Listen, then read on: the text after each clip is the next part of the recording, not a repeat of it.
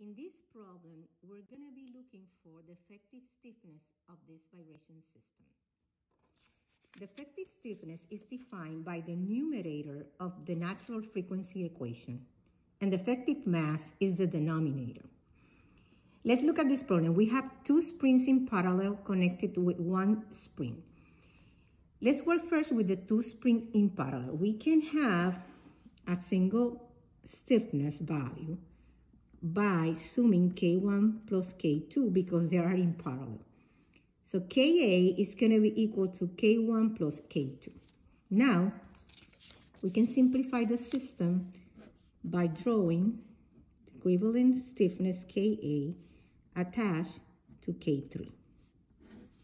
Now, if you notice the two springs are in series, the equation to find, find the equivalent stiffness for these two springs will be given by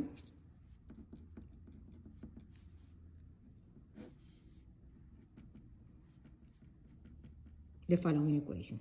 So we're going to work with the following equation, substitute the values, and we're going to get an expression like this.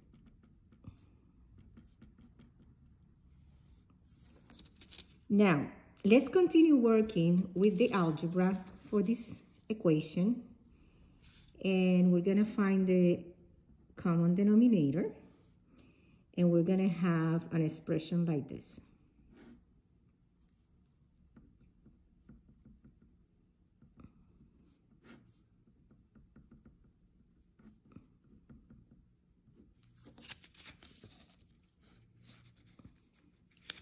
If we take the reciprocal of this equation, we're going to get the, effect, the effective stiffness of the system.